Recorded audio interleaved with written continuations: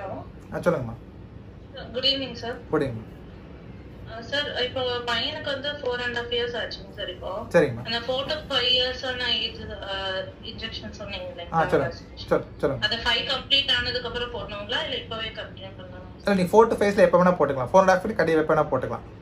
முக்கியமாக நீங்கள் அதோட நிமோக்ளோமல் யூஸ் பண்ணலாமா சார் நிமோனியா இன்ஜெக்ஷன் அதோட ஜாயின் ஆ பண்ணி போடலாங்களா? ஆ கண்டிப்பாக இது ஒரு நல்ல கேள்வி. ஆக்சுவலாக பார்த்தீங்கன்னா ஃபைவ் இயர்ஸ்க்கு கீழே இருக்க குழந்தைங்க எல்லாத்துக்குமே போலியோ ட்ராப்ஸ் கண்டிப்பாக பண்ணணும். ஃபைவ் இயர்ஸ்க்கு மேலே போலியோ இன்ஜெக்ஷன் கண்டிப்பாக போட முடியாது. ஐபிஓ இருந்தாலும் சரி இல்லை ஓரல் போலியோ ட்ராப்ஸ் ரெண்டுமே வந்து போலியோ இன்ஜெக்ஷன் கண்டிப்பாக ஃபைவ் இயர்ஸ்க்கு மேலே போடக்கூடாது. மற்றபடி ஒரே நாளில் நீங்கள் எத்தனை இன்ஜெக்ஷன் வேணால் போடலாம். ஒரே நாளில் ஒரு பத்து இன்ஜெக்ஷன் கூட ஒரே நாளில் போடலாம்.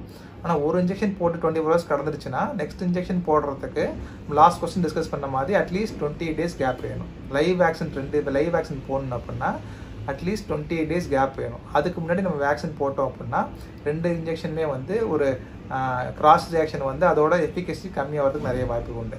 ஸோ ஒரே நாள்லேயே வந்து இவ்வளோ ஒரு இன்ஜெக்ஷன் நாலு இன்ஜெக்ஷன் ஒரே குழந்தைக்கு போடுறாங்களே டாக்டர் அந்த நாலு இன்ஜெக்ஷனுமே வந்து பாதிக்காதா? இல்லை குழந்தைய தாங்குமா? அதெல்லாம் வந்து ஒரு பிரச்சனையே கிடையாது. So you can give any number of injection on a single day within twenty four hours so ஒரு இன்ஜெக்ஷன் ஒன் டே ஃபுல்லாக போட்டுட்டிங்கன்னா நெக்ஸ்ட் அடுத்த நாள் போடக்கூடிய இன்ஜெக்ஷன் போட முடியாது. At least should be a gap of twenty days between the live vaccines. Thank you sir thank you